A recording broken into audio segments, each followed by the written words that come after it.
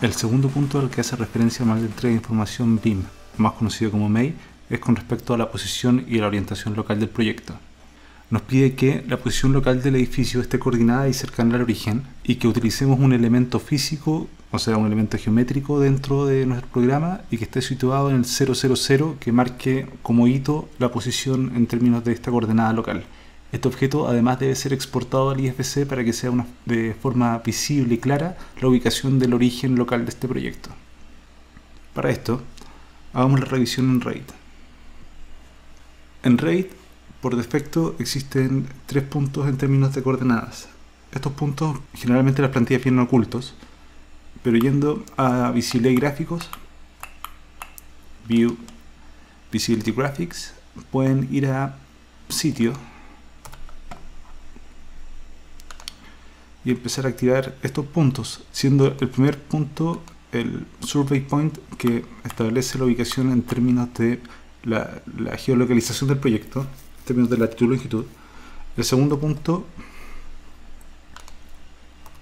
también lo puedo hacer visible acá en site, que se llama project base point, que es el punto que es la coordenada local del proyecto, que es un punto ficticio que básicamente se decide por conveniencia del proyecto y es el punto que el manual de entrega de información nos pide que esté coordinado y que esté identificado como el 00 de la coordenada local del proyecto.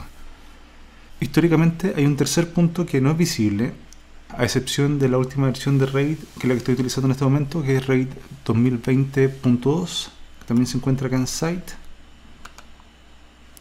Voy a apagar los dos anteriores para hacer visible este que se llama origen interno. Origen interno está marcado ahí con esos tres ejes. Es básicamente el 000 real del programa, que históricamente nunca se ha podido ver. Pero desde esta versión tenemos una visualización gráfica de este punto.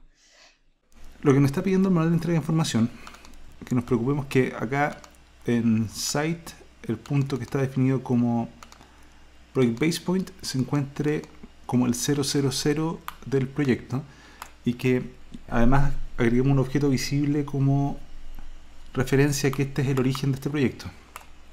Como les comentaba, este es un punto que básicamente en el plan de ejecución debe ser definido por el autor del plan de ejecución. Es un punto básicamente que se, por conveniencia del proyecto uno define para que todas las otras especialidades se puedan amarrar a él. Ahora, en términos de exportación de Revit voy a ir acá a File, voy a decir Export y voy nuevamente a IFC y voy a exportar como viene por defecto. Y voy a abrir este archivo dentro de Vincolab Zoom voy a ir al panel de navegación voy a cambiar de al panel de vistas inteligentes despliego acá local y tengo mi manual de entrega de información. Voy a desplegar esto y mi segunda prueba se llama posición. Voy a hacer doble clic para ejecutar la prueba y en este momento me sale todo marcado en rojo para mostrar que salió incorrecta.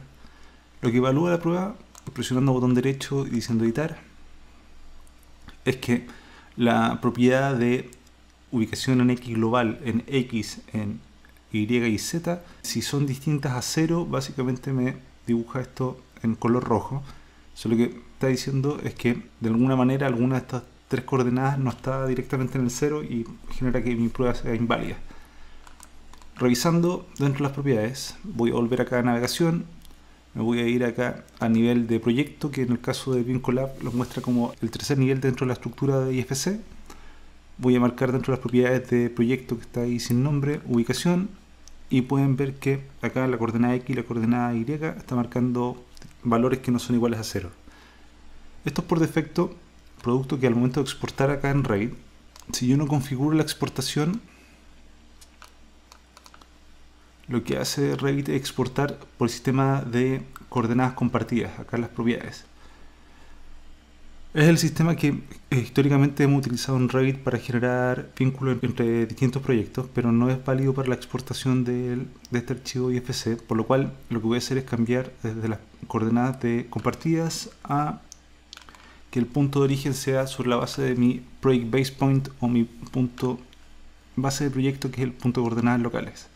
Presiono OK, voy a volver a exportar, me devuelvo a BIM Collapse Zoom y en la raíz del archivo IFC en navegación voy a presionar el botón derecho y voy a decir que quiero recargar el archivo. Recargo la nueva versión, voy a mis Smart Views y voy a ejecutar nuevamente la prueba de posición haciendo doble clic sobre ella y pueden ver que ahora se evalúa como correcta. Esto nuevamente lo puedo verificar yendo a navegación, desplegando acá mi estructura de IFC, tengo archivo, después tengo sitio y acá está edificio y ubicación en las propiedades y pueden ver que todos estos valores están marcando cero que es lo que me pide directamente. Lo último para cumplir con esta prueba es que necesito cargar un elemento que geométricamente marque este 000. Para eso voy a cargar una familia que tengo acá prehecha. Para eso voy a ir acá al nivel 1. Nivel 1 voy a llamar a que haga visible mi project base point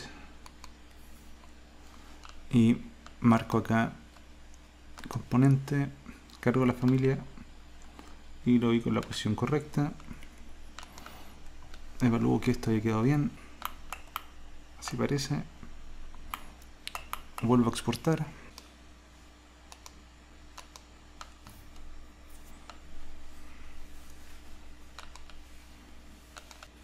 Cargo esto dentro de zoom voy a la estructura del archivo voy a decir reload para recargar, y pueden ver que se recarga el archivo y acá se encuentra el elemento auxiliar que puse para marcar el 00 en términos de las coordenadas locales del proyecto. Gracias.